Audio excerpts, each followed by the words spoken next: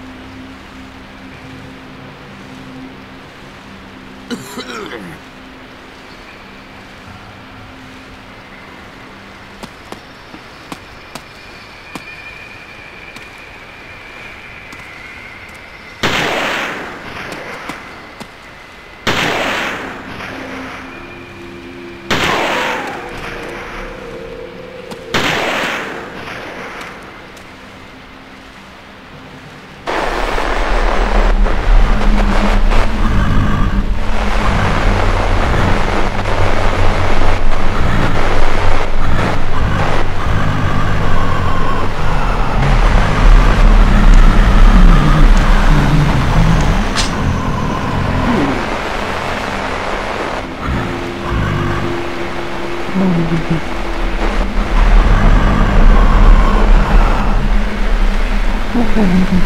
you.